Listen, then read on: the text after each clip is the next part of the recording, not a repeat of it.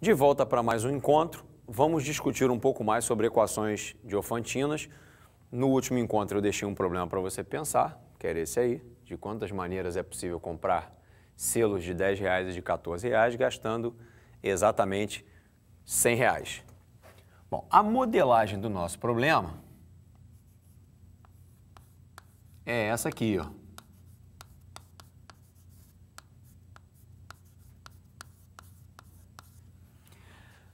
Nota que X representa a quantidade de selos de 10 reais e Y representa a quantidade de selos de 14 reais. A natureza do nosso problema não permite que o X seja fracionário e também não permite que o Y seja fracionário. Portanto, X e Y são números inteiros. Então, isso, de fato, é uma equação diofantina. No encontro anterior, nós vimos também um critério que nos dizia se a equação diofantina teria soluções inteiras ou não. Esse critério era o seguinte, o MDC desses dois números precisava dividir esse número aqui. Se isso acontecer, essa equação diofantina de fato tem soluções inteiras. Utilizando qualquer dos métodos que você aprendeu para calcular MDC, você encontra facilmente que o MDC de 10 e 14 é 2. E como 2 divide 100, de fato, existe solução inteira para a nossa equação de Ofantina. Bom, outra coisa que eu posso fazer, em vez de trabalhar, nós vimos isso no encontro anterior, em vez de trabalhar com essa equação de Ofantina aqui, eu posso simplificar ela justamente é, é, dividindo, fazendo a simplificação máxima, e a simplificação máxima sempre é dividir pelo MDC. Então, vamos simplificar essa equação aqui por 2. E aí ficaremos com 5x mais 7y igual a 50. Essa equação de Ofantina é equivalente a essa daqui. Bom, é fácil olhar para essa equação aqui e já de saída, só no olho, enxergar uma solução para ela. Nota que o 50 é múltiplo do 5. Então, uma solução trivial aqui seria colocar x igual a 10 e o y igual a zero, que foi o que nós chamamos de solução particular. E a partir dessa solução particular, nós vamos usar o método que nós já aprendemos para encontrar todas as outras soluções inteiras. Bom, pelo nosso método, todos os valores, valores de x, poderiam ser obtidos fazendo a solução particular menos o número que aparece lá multiplicando y, vezes uma constante, que eu vou chamar aqui de k.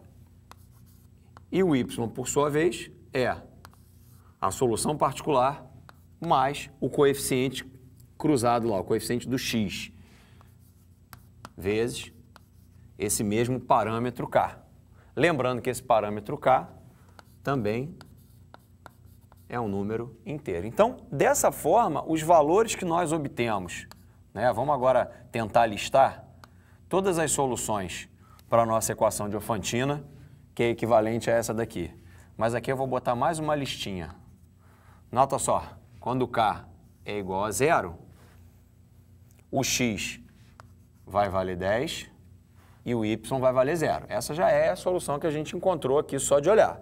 Se o k passa a valer 1, a nossa solução é 10 menos 7 para o x, valendo 3. E aqui, 0 mais 5, 5.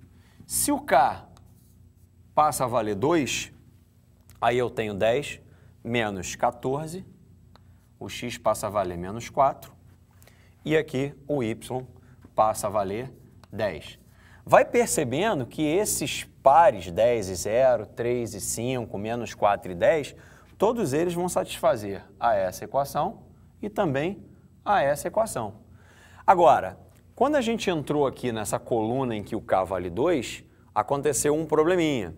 Porque a natureza do nosso problema também não permite que x seja negativo ou que o y seja negativo. Então, isso aqui é solução para a equação de Ofantina, mas não é solução para o nosso problema da, dos selos e do dinheiro. Né? Percebe também que o K poderia ir diminuindo. Né? Vou botar aqui, para não ficar espremido.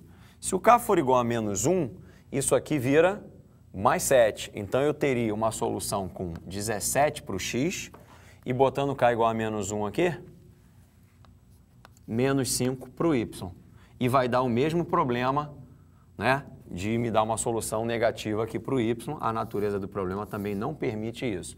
Então, de fato, eu só tenho duas maneiras de comprar selos de 10 e 14 gastando exatamente 100 reais. Resolvido o problema dos selos, vamos tentar resolver mais uma equação de Ofantina, essa que eu estou te propondo aí. 97x mais 43y igual a 1. Bom, antes de procurar a solução para ela, a gente tem que verificar se existe solução ou não. E aí a gente já sabe qual é o critério. O MDC desses dois números tem que dividir o 1. Então, vamos calcular o MDC de 97,43 usando o algoritmo de Euclides. Bom, a gente já sabe fazer isso. Tem que dividir o 97 pelo 43. Na linha aqui de cima, eu vou colocar os quocientes. Na linha embaixo, eu vou colocar os restos. Então, ao dividir 97 por 43, o quociente será 2, isso vai dar 86, para 97 o resto é 11. Aí eu passo o 11 para cá e vou repetir o procedimento dividindo 43 por 11. O quociente vai ser 3, 33, o resto vai ser 10. Aí eu vou passar o 10 para cá e vou repetir o procedimento dividindo 11 por 10. Isso vai dar 1 no quociente e resto 1. Aí eu vou passar o 1 para cá e ao dividir 10 por 1, isso vai dar 10 no quociente, 0 no resto. Bom, então, esse resultado aqui, a gente sabe que é o MDC de 97 e 43. E esse MDC divide o número que está aqui. Então, de fato, esse problema que eu estou propondo tem solução. O problema é que agora eu olho para essa equação e eu, sinceramente, não consigo enxergar uma solução particular. Né? No problema anterior, a gente viu com facilidade uma solução particular eu agora não estou conseguindo imaginar essa, essa solução particular, não consigo enxergar. Isso pode acontecer.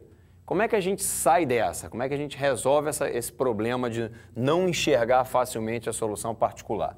Nota uma coisa.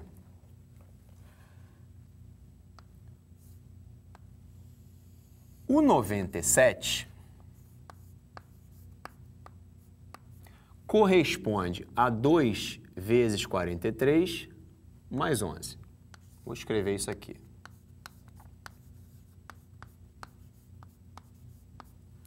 Por sua vez, o 43 corresponde a 3 vezes 11 mais 10. Vou escrever isso aqui.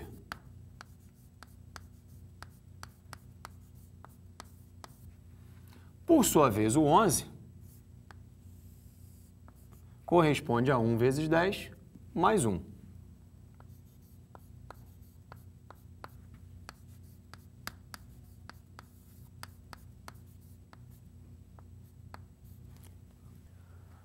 Essa primeira equação aqui pode ser reescrita assim, ó. 97 menos 2 vezes 43 igual a 11. A segunda equação pode ser reescrita como 43 menos 3 vezes 11 igual a 10. E a última pode ser reescrita assim, ó, 11 menos 1 vezes 10 igual a 1. Bom, primeiro é que desse jeito a gente visualiza aqui na, no finalzinho de cada uma das equações, na verdade, a listinha dos meus restos, né? 11, 10 e 1. Então aqui. Bom, a segunda coisa é, o meu objetivo, eu estou com 1 escrito aqui em função né, do 11 e do 10, né, como expressão do 11 e do 10. Mas o que eu quero de fato é escrever o 1 em função do 43 e do 97. Então, o que eu vou fazer aqui é ir substituindo uma equação na outra até que esse 1 apareça escrito como uma combinação de 97 e do 43. Para isso, é importante que você não caia na tentação de efetuar a conta aqui, porque esses números precisam ficar evidentes aqui para a gente ir podendo, é, é para a gente poder ir trocando até chegar onde a gente quer. Então, primeira coisa que eu vou fazer, no lugar desse 10, eu vou colocar toda essa expressão aqui, ó. Então, isso, vou reescrever isso, vai acabar ficando reescrito dessa forma aqui, ó. Vou juntar essas duas e vou escrever aqui assim, ó. 11 menos 1, que multiplica, aí vai entrar a expressão do 10 aqui, ó. 43 escrever isso aqui um, um pouquinho mais para baixo. 11 menos 1, que multiplica 43, menos 3 vezes 11, e isso está dando 1. Bom, eu vou dar uma ajeitada aqui e você vai ver que isso fica menos 1 vezes 43, eu vou escrever isso, esse ajeitado aqui em cima menos 1 vezes 43, mais 3 vezes 11, só que aqui eu também tenho um 11.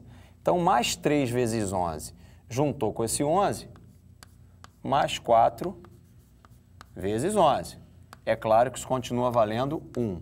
E essa expressão que a gente acabou de achar já não é mais o 1 escrito em função do 10 e do 11, sim do 11 e do 43. Observa que na minha sequência aqui eu evoluí, ó. O 1 estava escrito em função do 11 e do 10.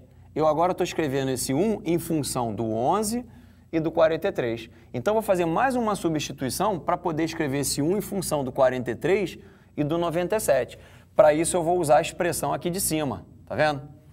Vou repetir ela aqui, ó.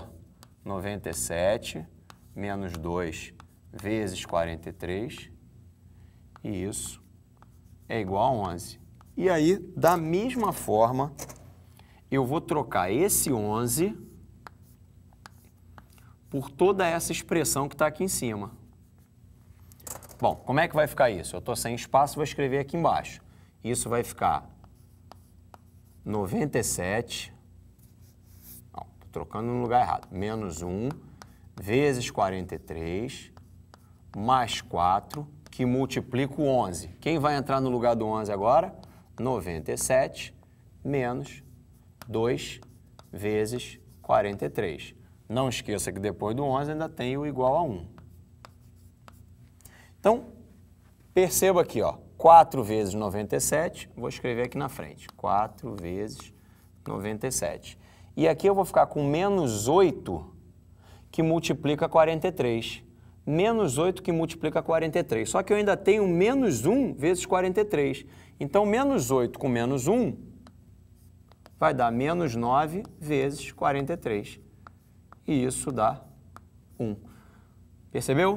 Então eu consegui agora evoluir. Eu estava com 1 escrito em função do 10 do 11, fiz a primeira substituição, consegui escrever 1 em função do 43 do 11, e agora eu tenho 1 escrito em função do 97 do 43. Portanto, 4 e menos 9 são aquela solução, eles formam aquele par, né, que é a solução particular que a gente não conseguiu enxergar de primeira. Até então nós vimos enxergando uma solução particular só de olhar e agora a gente não conseguiu, mas está resolvido o nosso problema de não enxergar a solução particular. A gente conseguiu um método que, mesmo que o meu olhar fale, eu consigo encontrar uma solução particular. A partir dessa solução particular, a gente vai encontrar todas as outras através daquele nosso método. A partir do momento que nós descobrimos uma solução particular, né, nós sabemos que todas as outras soluções serão descritas por esse modelo aqui.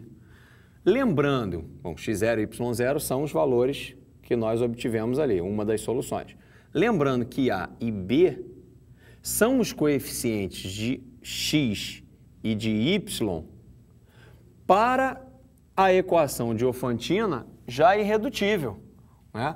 Bom, para nossa sorte, essa equação aqui já está na forma irredutível, porque o MDC de 97 e 43 é 1.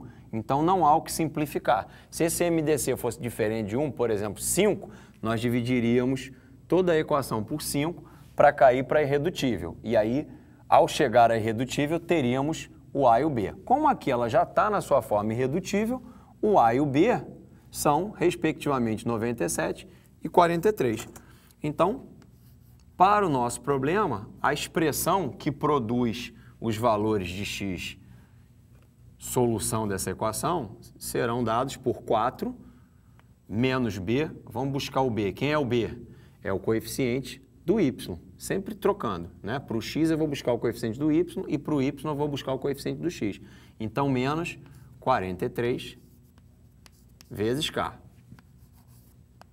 Y vai ser dado por menos 9 mais o coeficiente do x, que é 97, vezes o mesmo parâmetro k.